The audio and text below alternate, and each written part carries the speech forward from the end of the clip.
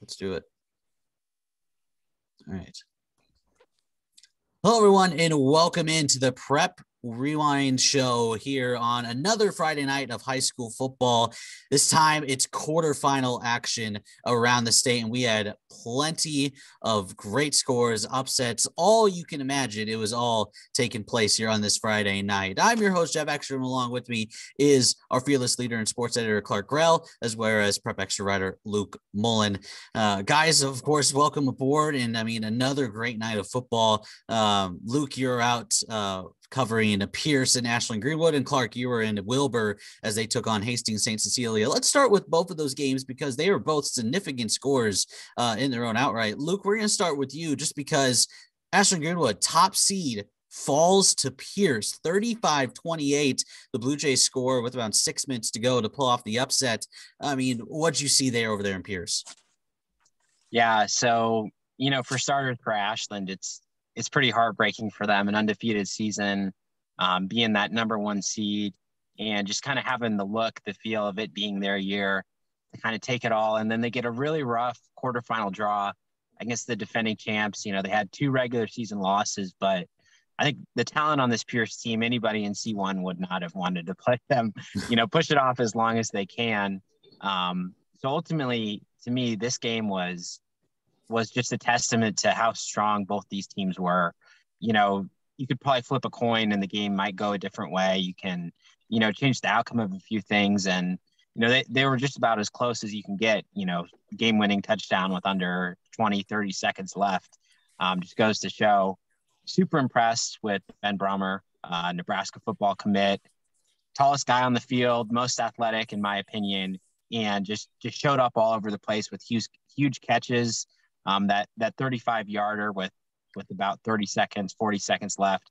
That was the big one that that put them right there in position to to get the game winning touchdown. And so for Pierce, this is really, you know, coming off a state title. They look like a state title team again. They they might be getting that home game next week against Battle Creek as well, who did beat them in the regular season. I'll note. Um, so that'll be a huge revenge game, big game for them as well. And so just to kind of shake up the whole C1 landscape, you know, having the defending champ come out of the top side of the bracket is is pretty big. And you know, commiserations to Ashland on a great season, just ending a little bit earlier than they would have liked. Certainly, and yeah, like you mentioned, they'll take on Battle Creek, and Pierce will get another home game. And I think that can be very uh, important as they move to the semis because there's an argument to be made that the semis is even more pressure packed than the actual final because it's all about getting to that final. Uh, so certainly that'll be interesting. And now, Clark, moving over to you, Europa and Wilber, and I bet they are partying tonight. They come out with a big victory over Hastings St. Cecilia, 32 to 13. They move on to the semis. Um, Clark, what'd you see there?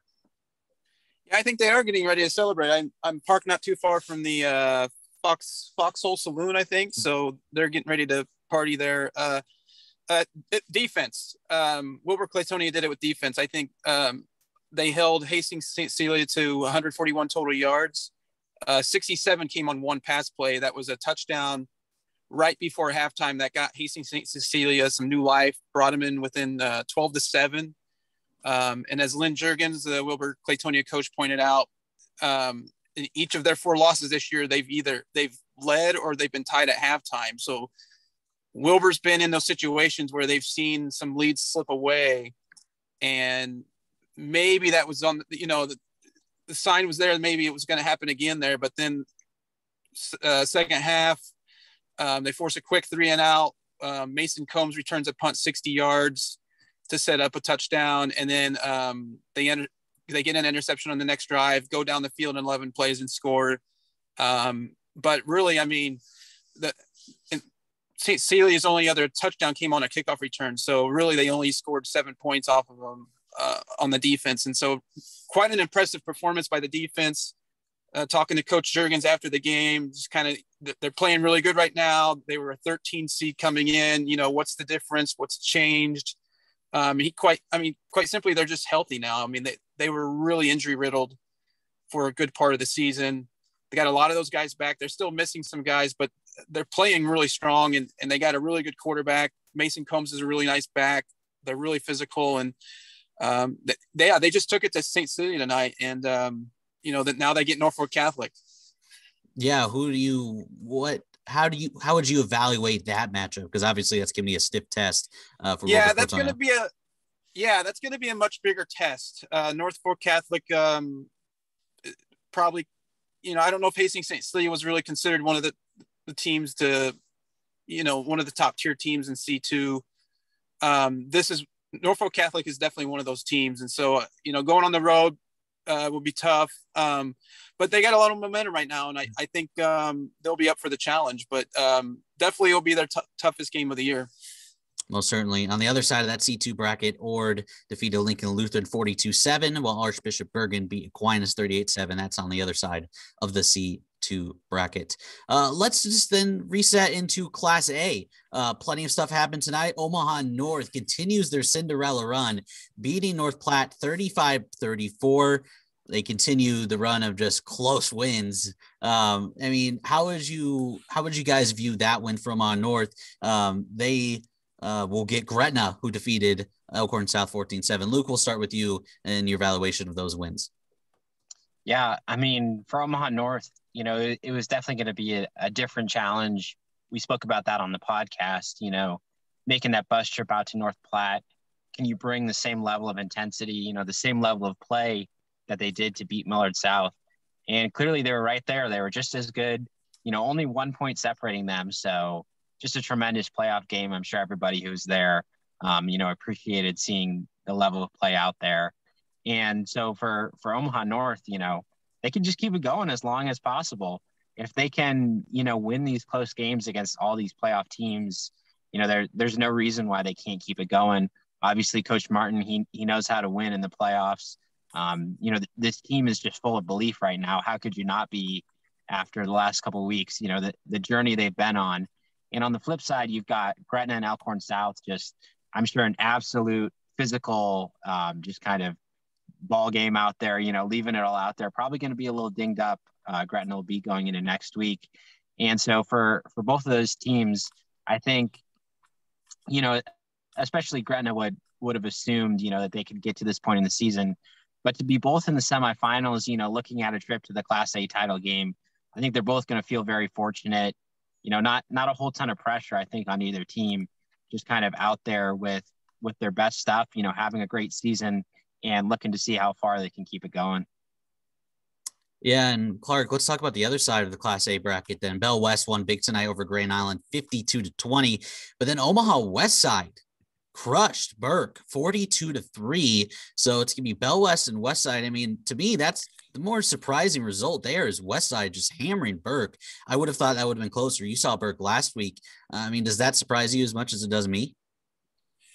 Uh, the score definitely. I mean, maybe not so much West Side winning comfortably, but definitely the score. I mean, I Burke has some really nice offensive weapons. They they have a really good quarterback. So the fact that they only got three on West Side kind of shows you where West Side is. I I um I mean, I was going to ask Luke that. I mean, I, I think people were waiting for West Side to play. I, I don't know. I mean, they were kind of waiting for West Side to play a tough opponent, and then, and they got one here. Now now they get Bellevue West. I mean, what Luke? What what do you make of? I mean, that's gonna be quite a showdown next week. Yeah, I mean, keep saying it. It's like West Side hasn't lost in two seasons. like clearly, clearly, you know they they have a different team this year, but they have a lot of the same players. You know, the same formula um, to be that Class A title contender. And so, you know, coming out the last two weeks, and basically scoring 100 points and allowing three. I mean, that if that doesn't scream state title contender, you know, I, I don't know what does. You know, obviously the the draw of the playoffs impacts things, and I think for Burke, um, you know, maybe their record, their seed was a little bit flattering to me. Um, I think there were some tougher teams that maybe could have challenged Westside a little bit more than they did. Um, you know, all credit to Burke, fantastic season to make the quarterfinals. Um, so to see Bellevue West and and West Side in that matchup, yeah, definitely. You, you know, you think that that West Side defense has to be, you know, evaluated a little bit higher now, considering what they've done in the playoffs so far. Definitely a more a more challenging test next week against all those guys from Bellevue West. Um, but definitely defense playing at a championship level. Got some great playmakers on offense, and it's it shouldn't be any surprise to see that you know the defending champ making another run there in Class A. Yeah, and I mean third straight year that uh, it will be an all metro final. The last time it wasn't was back in 2018 when Omaha Burke defeated Grand Island. Guys, let's move on down to Class B. A couple of area schools, their seasons came to an end tonight. First, you have Elkhorn defeating Seward 35 20. And then I think even the bigger storyline, which I thought the game would be more competitive, Bennington shuts out Waverly 41 to nothing. Luke, we'll start with you. I mean, just on that side of the bracket, I mean, that's more surprising for me is Bennington just cruising by Waverly. Absolutely. I mean, that that was a game that kind of had trap game written all over it for Bennington, um, just in the sense that you know that that Waverly team is so difficult to play in the quarterfinal round. You know, some of the strengths on defense, the physicality, um, you know, just could have perhaps worn down Bennington a little bit. You know, gotten them in a in a disadvantage, uh, at a disadvantage um, in terms of the game and everything. So to see Bennington just go out and control the game at home, you know, play how it needed to, um, to keep advancing, keep surviving, and moving on. It just it just really goes to show that they are just so far and large the team to beat in Class B. You know, obviously that matchup with Elkhorn, the defending champ, who's hardly done anything wrong all season, except for getting blown out by Bennington themselves. You know, it it's it's kind of like obviously you know you consider that that game should be close. You know, Elkhorn being able to make adjustments and the quality that they have as well. Um, but ultimately, it's just I don't see anybody that can beat Bennington right now. They are just having one heck of a year. Um, you know, the talent all over the place on offense. You know, the, the fact that they're only scoring 40 or 50 points, you know, they could they could put up 60 or 70, just the the level of guys that they have in there. Um, so total credit to Bennington. Really impressive result out there. And yeah, it's it's hard to imagine anybody touching them right now. Um, yeah, then on the other side, you have Aurora defeating Scottsbluff 34 14. They will take on Omaha Skutt, the pesky Skyhawks, uh, defending state champs. They defeat Plattsmouth 20 to 10, shutting down that running game uh, of Plattsmouth. I mean, uh, Clark, I guess we'll go over to you. I mean, what do you take away from those results right there? I, I, yeah, I mean, I thought Skutt, um, obviously Skutt's playing really well right now. I mean, um, you know, they they handled Norris really well last week, and and now getting Plattsmouth. So I think that's going to be an interesting matchup um, next week because you got two teams that are playing. Obviously, Aurora started a little slow to the season, and now they've been rolling, and and now you got Skutt, who Matt Turman he he always has that group ready to play in the playoffs, and that that's going to be quite a chess match, I think, when those two teams meet next week. Yeah, most certainly. It's going to be a very fascinating one in Class B. And then going back down to C1, we've already obviously touched upon Ashland Greenwood Pierce. But on the other side, you have Columbus Lakeview, who we mentioned last week might have been the hottest team in the playoffs. They continue that a 23 to 20 upset over number three seed Boone Central, who in fact was my pre-playoff pick to win C1. But I also predicted that as my hot take of the week they would win, and so I was right. Um, but they take on Kearney Catholic, who just crushed Wahoo 33 to 7. Luke, we'll start with you. I mean, obviously Lakeview a big win, but they were really hot as a team. So while that's still surprising, I don't know. I might be more impressed with Kearney Catholic. I thought Wahoo was going to give them more trouble than what it seemed they did.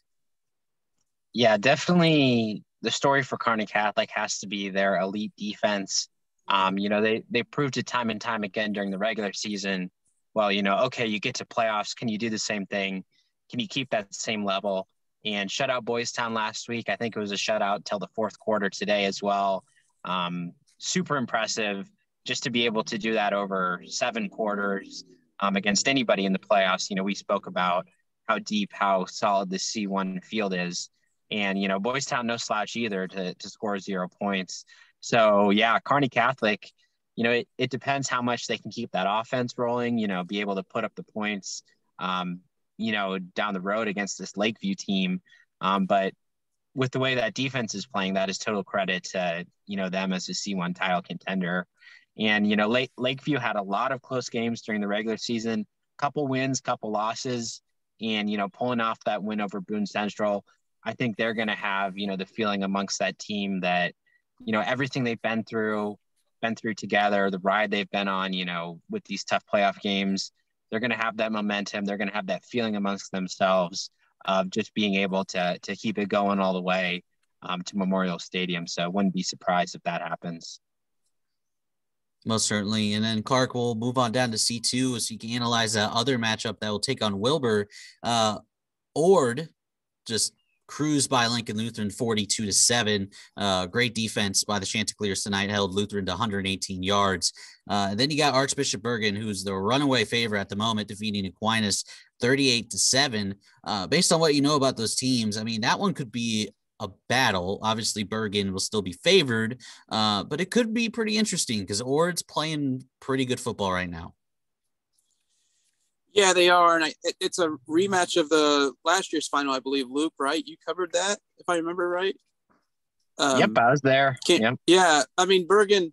I mean, I didn't, I didn't see how they got it done tonight, but I mean to dominate Aquinas again. I mean, um, I mean, super impressive. I mean, obviously, they are the favorites um, for a reason, and and yeah, I mean, I, I think that again, I mean, I mean, you get to the point where all these semifinals and all these classes are, are super good, but I mean, I start thinking like, okay, yeah, Bellevue West West Side, fantastic matchup, um, and then here's another one down a couple, a few classes lower where Ord Bergan. I mean, yeah, I mean, I think probably some offensive fireworks for sure in this game probably next week is my guess but um you know yeah we'll we'll see i mean i, I think bergan I, I think Bergan would be the favorite in that game but um obviously you don't want to count out the defending state champs yeah most certainly uh, and that's our big recap for tonight of all those plenty of action. Make sure to check out all of our articles and game coverage,